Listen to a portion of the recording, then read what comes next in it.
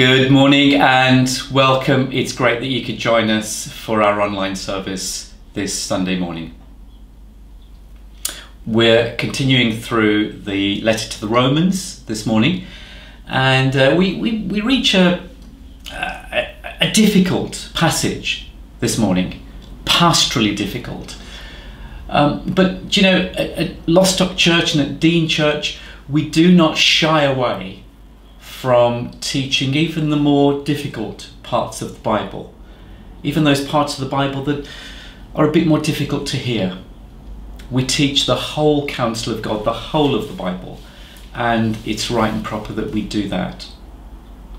But before we get to the sermon later on and and uh, anything else in this service, I'm going to read to you from Psalm 100 and then I'll pray for us. And Psalm 100 says, Shout for joy to the Lord, all the earth. Worship the Lord with gladness. Come before him with joyful songs. Know that the Lord is God. It is he who has made us, and we are his. We are his people, the sheep of his pasture. Enter his gates with thanksgiving and his courts with praise. Give thanks to him and praise his name. For the Lord is good, and his love endures forever. His faithfulness continues through all generations. Let me pray for us. We do indeed uh, shout for joy to you, Lord, this morning. We worship you and we, we come before you with joyful songs. Please uh, prepare our hearts for the uh, reading and teaching of your word this morning. And Lord, please help us uh, to hear and to be obedient to your word. And please equip us to live for you in this world for Jesus' sake. Amen.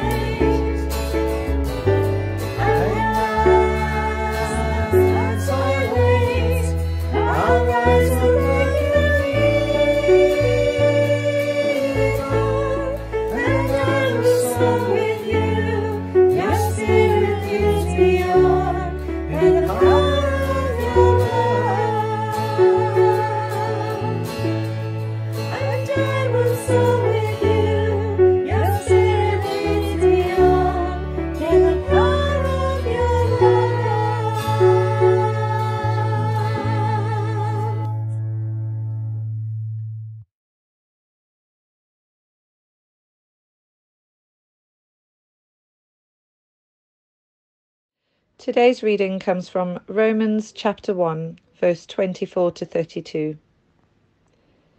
Therefore, God gave them over in the sinful desires of their hearts to sexual impurity for the degrading of their bodies with one another. They exchanged the truth about God for a lie and worshipped and served created things rather than the Creator, who is forever praised. Amen. Because of this, God gave them over to shameful lusts. Even their women exchanged natural sexual relations for unnatural ones. In the same way, the men also abandoned natural relations with women and were inflamed with lust for one another. Men committed shameful acts with other men and received in themselves the due penalty for their error. Furthermore, just as they did not think it worth while to retain the knowledge of God, so God gave them over to a depraved mind, so that they do what ought not to be done. They have become filled with every kind of wickedness, evil, greed, and depravity. They are full of envy, murder, strife, deceit, and malice. They are gossips, slanderers, God haters, insolent, arrogant, and boastful. They invent ways of doing evil. They disobey their parents. They have no understanding, no fidelity, no love, no mercy. Although they know God's righteous decree that those who do such things deserve death, they not only continue to do these very things, but also approve of those who practice them. This is the word of the Lord. Thanks be to God. Do you have someone in your life, someone who you trust, who tells you how things really are? Someone who has the courage to tell you what you may not want to hear? Perhaps when you're struggling to make that next big decision. Someone who prays for you. Someone who speaks truth to you in love and grace. Someone who affirms you when you're doing good and appropriately challenges you when you're veering off course and about to get yourself into a mess. I remember when I was in my early days as an ordained minister there was a member of the congregation at that church where I worked who was hugely supportive and encouraging, and as part of that, had the courage to tell me when I was getting things wrong. I'm so grateful to God for that person. And I would seriously listen to that person because I know that they prayed for me and had my and the wider church's best interests at heart. Already in Paul's letter to the Romans, we've seen how Paul really loves these Christians.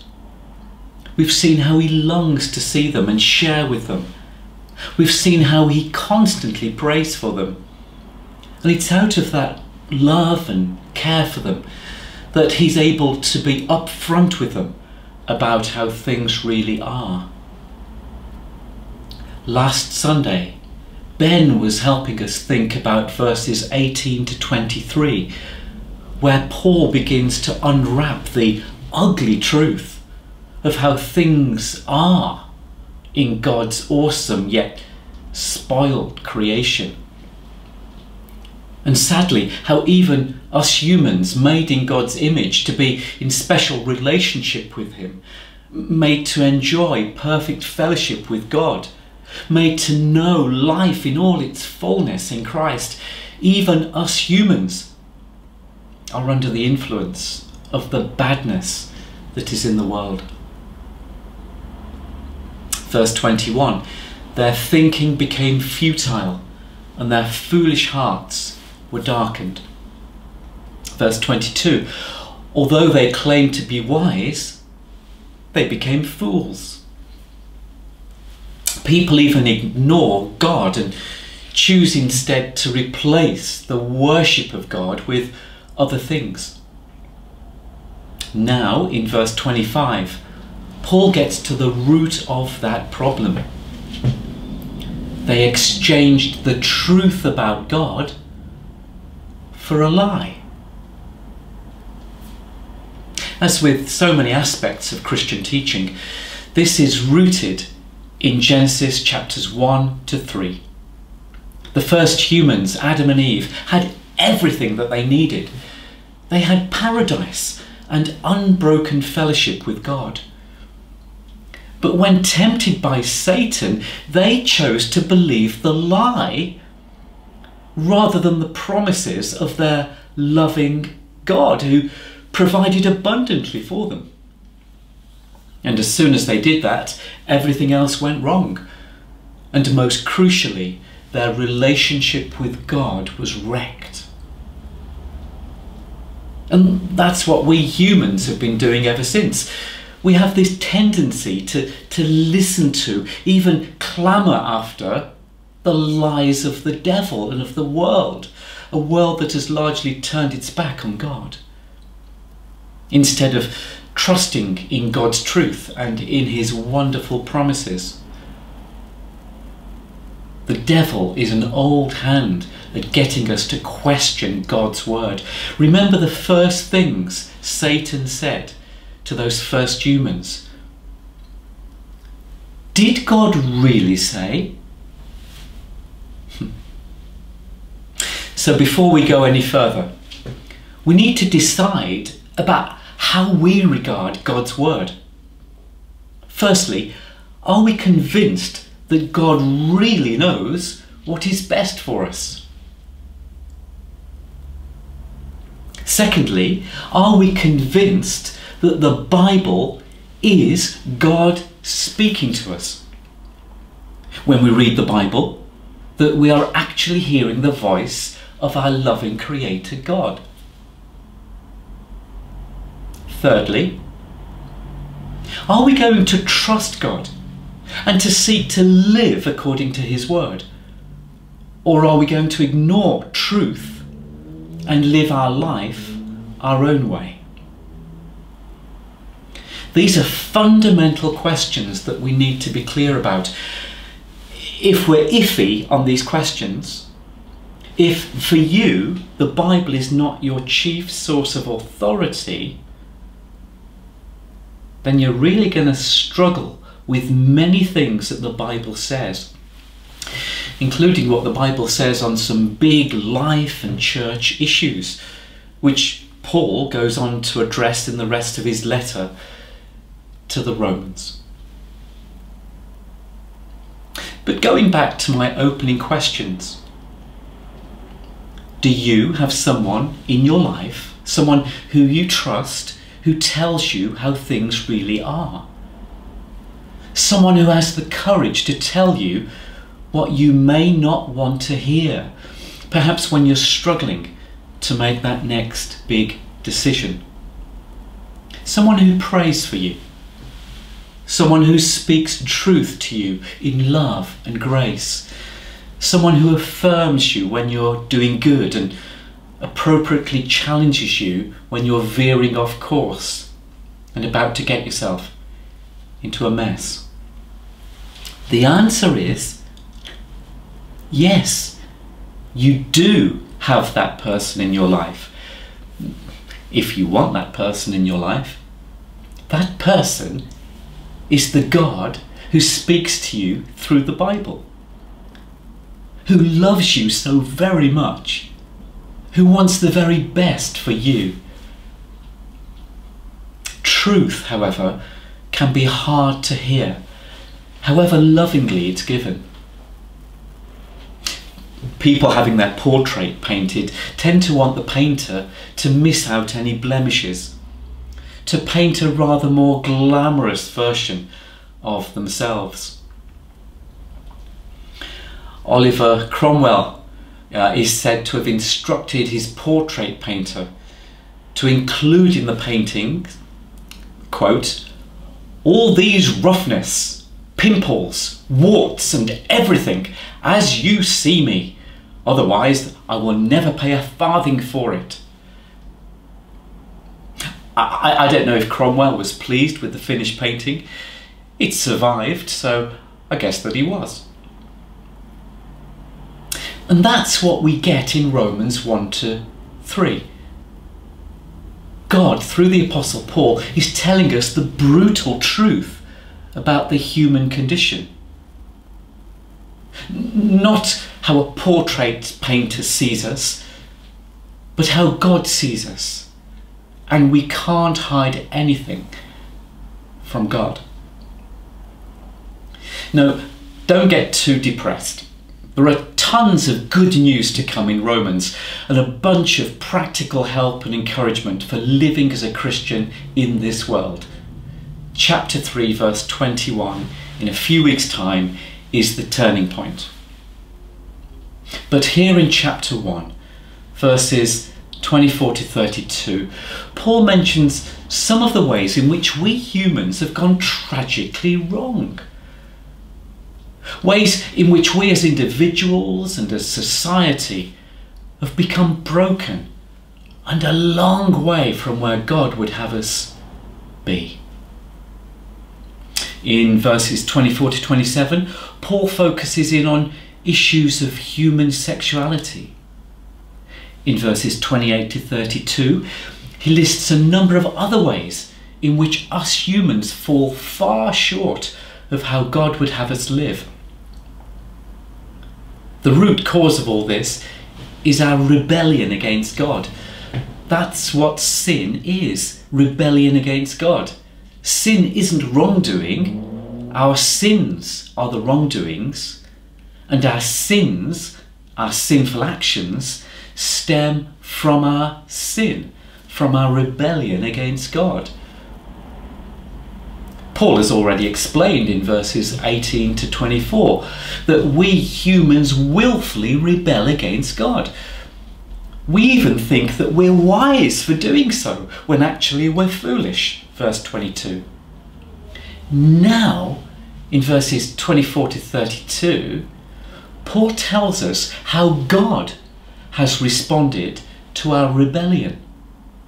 Therefore, verse 24, because of this, verse 26, since, verse 28, rebellion against God, sin, has consequences. Verse 24, God gave them up. Verse 26, God gave them up. Verse 28, God gave them up. What does that mean? God gave them up. As a consequence of God's perfect, righteous, just, settled judgment upon us rebellious humans. He has handed us over to our sinfulness. He's handed us over to impurity, verse 24, to wanting uh, uh, what is contrary to nature, verse 26, to being unable to even think rightly, verse 28, to, to have a debased mind, Every thought that goes through our brains is tainted by sin, by rebelliousness against God. And the sins that Paul lists here sexual immorality, envy, murder, maliciousness, etc., etc., etc. are the symptoms of us being handed over to sinfulness. They are signs of God's judgment and wrath, verse 18, upon us rebellious human beings. But why does Paul particularly focus in on sexual sin? And why does he especially focus in on this area of human life where we exchange the truth of God for a lie? And he particularly mentions homosexuality. Well, the answer is back in Genesis, in God's creation order in how things were before we humans first rebelled against our loving Creator God. Genesis chapter 1, verse 27. So God created mankind in his own image. In the image of God, he created them. Male and female, he created them. There is something rather beautiful in the fact that we are being made in God's image and that that not only means we're created to be in relationship with God, but that there are two complementary genders. And then in Genesis chapter 2, verses 23 to 25, the man said, This is, this is now bone of my bone and flesh of my flesh. She shall be called woman, for she was taken out of man. That is why a man leaves his father and mother and is united to his wife, and they become one flesh. Adam and his wife were both naked and they felt no shame.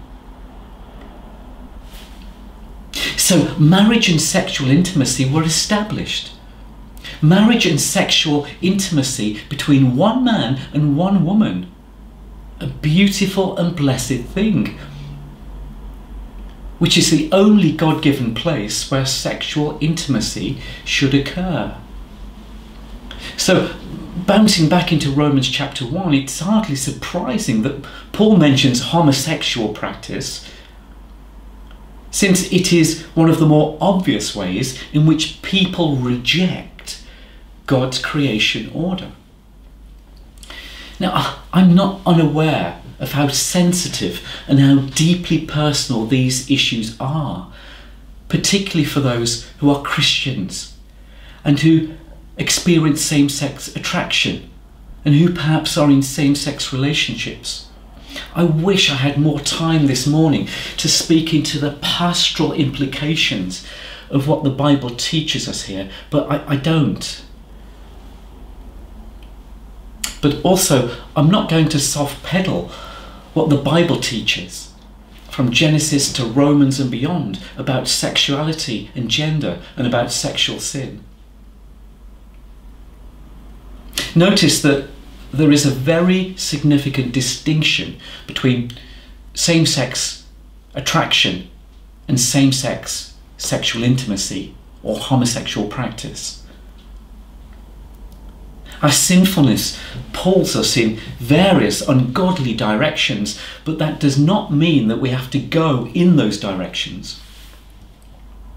Paul says to young Timothy in 2 Timothy chapter 1 For the Spirit of God, for the Spirit God gave us, does not make us timid, but gives us power, love, and self discipline. Because a person is same sex or opposite sex attracted, it does not mean that the person must act on those feelings. Jesus Christ was fully human and the most fulfilled human who has ever lived. He was tempted to sin just as we are, but he lived his life God's way, and there's our model. And God enables us to do this by giving us his word, by giving us his spirit, and by giving us fellowship and prayerful support through our church family. If we're plugged into a biblically minded church family, that is. You know, it's commonly expressed today that Jesus never spoke out against homosexual practice. Well, we don't know that. We only know what we have in the Gospel accounts. The Gospels don't record Jesus speaking directly against sexual exploitation, or against neglecting the elderly, or against child sacrifice that doesn't mean he approved of those things. In any way, he didn't need to speak out against homosexual practice, since no first century Jew would question whether homosexual practice was permissible. They knew that it wasn't. Every Old Testament text that deals with sexuality, sexuality assumes that the only appropriate place for sexual intimacy is within heterosexual marriage. And homosexual activity is always spoken of negatively. When Jesus is teaching on divorce, he refers to Genesis chapter 2 as the blueprint for sexual relationships. God's creation order is the pattern. And to say that Jesus never spoke about homosexuality is saying that the words, or lack of words, of Jesus somehow carry more weight than the rest of God's words in the Bible, which is a wrong understanding of Scripture. The whole of Bible of the Bible is God's word. Over the centuries, those who have experienced and expressed same-sex attraction have often been ignored or even vilified by churches. And we Christians need to repent of and desist from treating anyone like that. Jesus loved and welcomed all, and that is our model. Jesus also spoke truth to people, calling all those who would follow him to leave their lives of sin. So, one challenge for any church is how to welcome and love the sinner without endorsing the sin. We can't just pretend that sinful behaviour or lifestyle, including sexual sin, doesn't matter. Some churches, some Christians are, are so keen to welcome that they can neglect to, to speak of sin. Some churches, some clergy don't even accept that homosexual practice or other sexual activity outside of a biblical understanding of marriage is sinful. So, of course, they're not likely to help people to understand what God says in the Bible about these things. We are all sinners in need of God's saving grace. And as God's people, we should be the most gracious people on earth. We're all broken and hurt and struggling with temptations. And the great news is that Jesus came to rescue us from God's wrath and from being given over to our sinful nature. But to benefit from that, we need to turn from sin and to seek to live with Jesus Christ. Not just as our Saviour, but as our Lord. Which means trying our best to live under His Lordship. So, these matters are personal, but they also impinge on wider church life. In November last year, the Church of England launched a range of resources based on a, a big report called Living in Love and Faith, LLF. It's the latest Church of England report over the years to address issues in human sexuality. I've not finished reading the report yet, I'm part way through. It runs to 482 pages and it's quite dense. There's a significant movement within the Church of England these days to move our denomination away from a biblical position on sexual ethics and to embrace the way of the world. There are pressures on bishops and on General Synod, the governing body of the Church of England, to redefine marriage and to call that which is sin good and pleasing to God. We need to pray that this movement does not get its way and that the authority of God's word would prevail within the Church of England. But what about us? Is our understanding of sexual ethics defined by what we see on the television or by what God says in the Bible? Or, and this is the really challenging thing here, when a friend or family member speaks to you of their same sex attraction and how they found love and happiness in a homosexual relationship, does their story define your sexual ethics? And what about your feelings? Do your sexual feelings, however strong, define your sexual ethics above and beyond what the Bible teaches? Remember, we've been given over to our sinful natures. We've exchanged the truth of God for a lie. We all do it. But God has given to every Christian His Spirit. The Holy Spirit dwells within us. He empowers us to resist temptation and to live God's way. We are born again as children of God when we become a Christian. And we are defined by that, not by our sexuality or how others define us by God's grace, we can live God's way. Now, we all get it wrong. We all, we all do, whether it's about sexuality or in some other area of life. But we must keep coming back to God and the way He wants us to live our life. And to fail to do so is saying that we don't really trust God with the future. We don't really trust that God will provide us with everything that we need physically, emotionally, and spiritually. If anything that I've said just now causes you pain or adds to your heartache, that was not my intention. My desire and prayer for you is that you know the goodness and joyful fellowship of God at every point in your life. There are many other aspects of the Bible and human sexuality that I could have developed, but we don't have the time to do that here. This talk is already, I think, a bit longer than I would normally speak for. Can I, however, recommend three excellent resources from other people? One of them is this book, The Plausibility Problem by Ed Shaw. In The Plausibility Problem, Ed, who himself experiences same sex attraction, seeks to show us how the Bible can seem unreasonable, not because uh, of what it says about sexuality, but because of missteps that we can make about our understanding of the Christian life. Another book is this A Better Story by Glynn Harrison. A Better Story is a critique of the so called sexual revolution and a presentation of the far superior biblical vision of sex and relationships.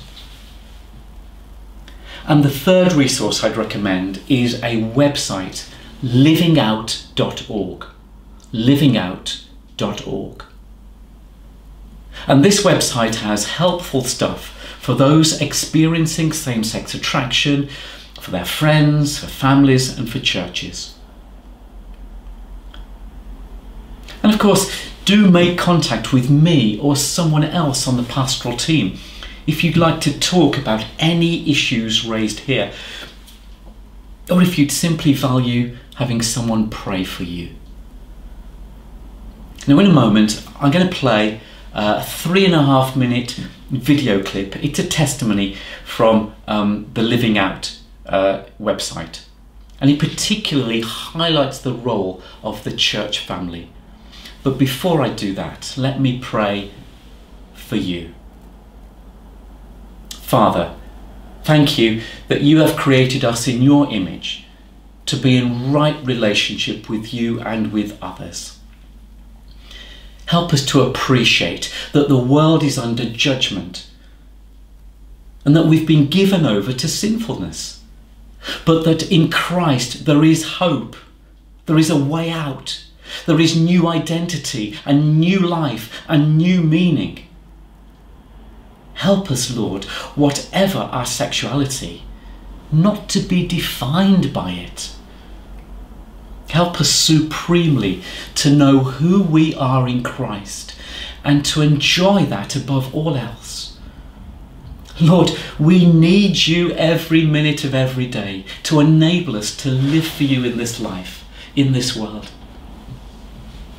Father, help each one of us to embrace the better story which your word reveals. Amen.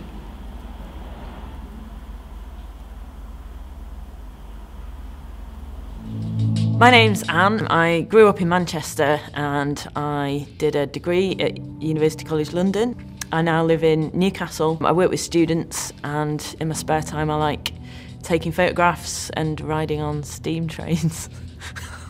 I kind of always, I always thought I was gay right from a, a, young age. I can't remember a time where I wasn't aware of being gay really. Um, I was quite a tomboy when I was younger. I remember when I was five years old at my um, party and all my little friends had their party dresses on and I had a tracksuit and a motorbike helmet on and I only lifted the visor to eat my cake. I became a Christian in my first year at university studying philosophy. I'd seen university as a chance to make a new life for myself and I thought I would throw myself into the LGBT because I wanted to be open about my sexuality and I did feel like I was with a group of people who understood me and I felt like I belonged but I still felt like there was something missing and I was still searching for meaning and truth in my life. There was a girl in my halls that went to church so I went along to church with her And I was really struck by the fact that they seemed to really believe what they were talking about. They seemed to, their faith seemed to make a real difference in their life.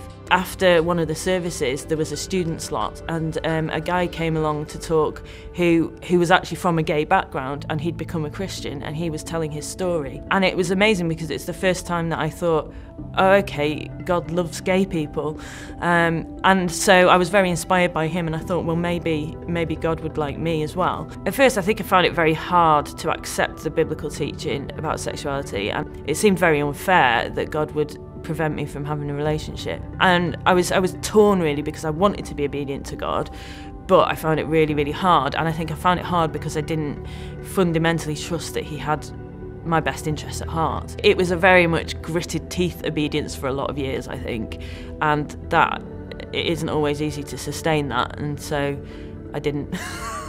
it, um, yeah, there were a couple of times where. Um, you know, I just I just found it too hard to live like that, even though that's what I, you know, wanted to live in a way that pleased God. But I, ju- I just found it practically really difficult in my early Christian life. But I'm in a different place now. When I'd taken a sort of wrong turning in my Christian life and um, I'd got involved in in a relationship, I think some of the things that helped me get back on my feet were being in a really supportive church context. I actually never stopped going to church, and I think I'm so glad that that was the case because I think you know it's, it's hard to be a Christian anyway, but being a Christian by yourself without people encouraging you and without you know being in community is almost impossible. I always sort of left myself open to being challenged and kind of working this through with other people, and I was very open with my minister, and he gave me grace and space to to work things through. It's a bit like when you're learning to play the piano, your teacher doesn't throw you out if you've hit a bad note. They help you to hit the right notes, and it was a bit like that. I think as a single person, um, it's it's still really possible to have the intimacy and the, the love that you need. I think it comes from um, really good friendships and and being in community. I do think that you know sharing my house and sharing my life with people has really transformed the way that I live. And it means that I'm getting healthy physical touch I'm getting healthy intimacy I've got people to talk to when I need to wrestle with something or I just want some advice or I just need to cry or whatever. And actually the people that I work with um, are also really close friends. Living with a friend's great because it's just, it's all about sharing life. So you know when I get home some Sometimes Abby's like cooked me a delicious casserole. We share a car, so it, a lot of it's like sharing financial costs and things, but sharing life as well, going on trips, going on holidays, and just having someone there when you get in and you want to talk about your day, somebody who's actually going to ask you and take an interest, is huge. If I was asked to give advice to somebody um, who's same sex attracted uh, and a Christian, I would say put Jesus first, um, love him with all your heart and soul and mind because it's totally worth it. Whatever you give up for him, it is totally worth it.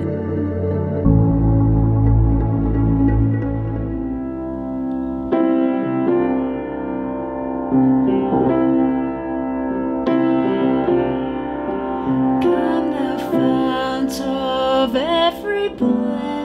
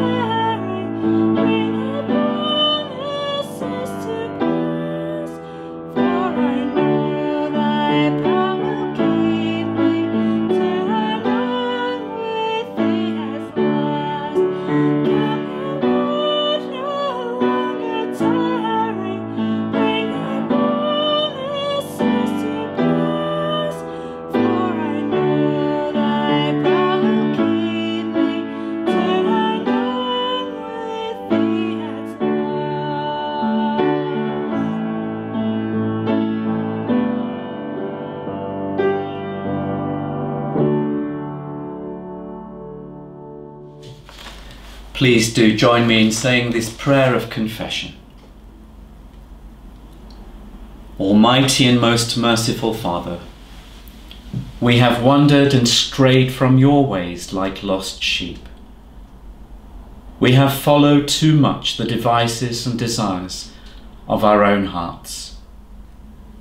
We have offended against your holy laws. We have left undone those things which we ought to have done, and we have done those things which we ought not to have done, and there is no health in us. But you, O Lord, have mercy upon us sinners. Spur those who confess their faults. Restore those who are penitent, according to your promises declared to mankind in Christ Jesus our Lord. And grant, O most merciful Father, for his sake, that we may live a disciplined, righteous, and godly life to the glory of your holy name. Amen.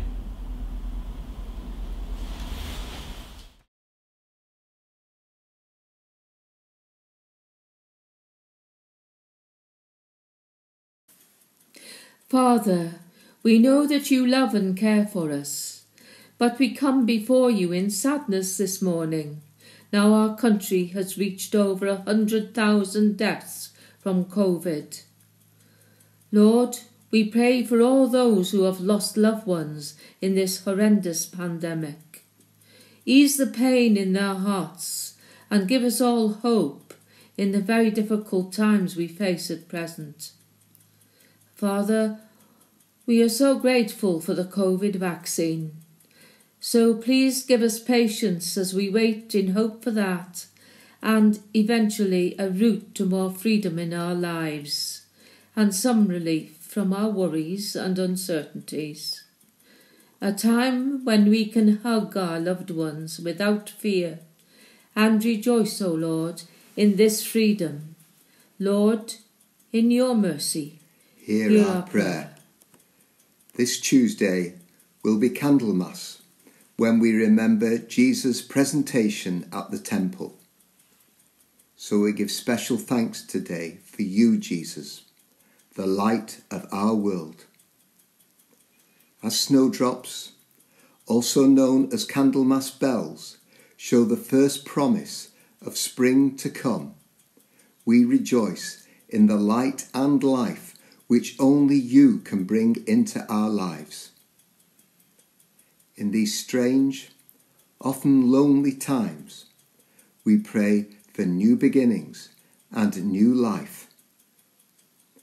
We now see more clearly than ever our need of your presence. Lord, we call out to you by name, Emmanuel, God with us, and we celebrate every single day that you never leave our side. Lord, in your mercy, hear our prayer.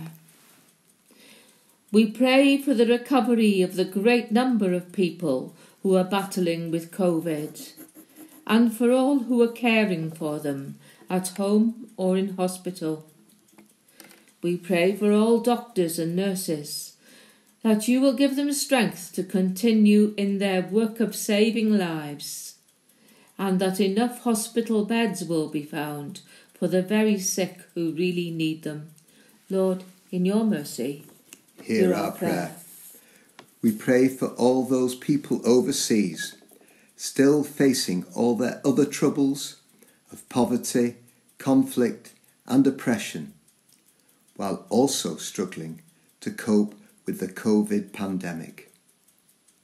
We give thanks too for people in our own country providing love and care, health workers, people visiting the lonely, those volunteering for food banks, and so many others. Please, Lord, give them the strength to continue their magnificent work. Lord, in your mercy, hear, Hear our, our prayer. prayer. We think of all others who are suffering mental or physical illness today and for those who were unable to access the help they need at this time. Comfort them, Lord, and ease their burdens. Give them your peace to calm their troubled minds. Lord, in your mercy, hear, Hear our our prayer. prayer. As January draws to a close, we are already struggling, Lord, to keep our New Year resolutions to live better lives and care more for our neighbours. So we ask for your guidance as we face new challenges. Please help us, Lord, to see that we are not in charge and to hold our plans a little more loosely even welcoming apparent interruptions and setbacks as signs from you that we should look afresh at our priorities. Please let us also be a little gentler on ourselves and others, remembering that you love us just as we are, with all our faults. Lord, in your mercy, hear our prayer. Gathering our prayers and praises into one, as our Saviour taught us, so we pray. Our Father in heaven, hallowed be your name. Your kingdom come, your will be done, on earth as in heaven. Give us today our daily bread. Forgive us our sins, as we forgive those who sin against us. Lead us not into temptation, but deliver us from evil. For the kingdom, the power, and the glory are yours, now and forever. Amen. Amen.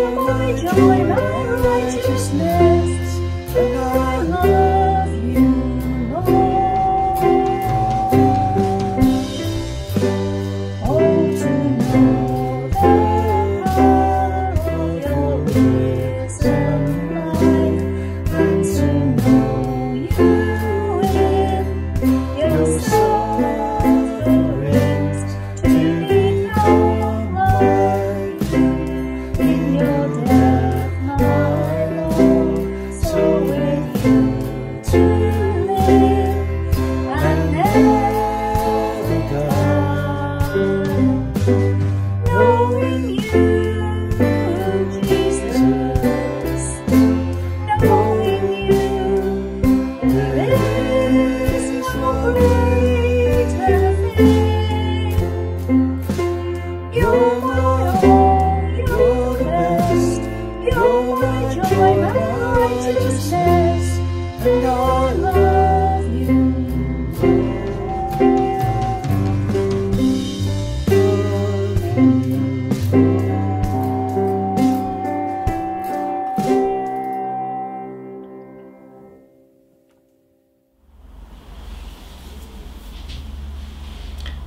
We end of our service this morning, let me end in prayer.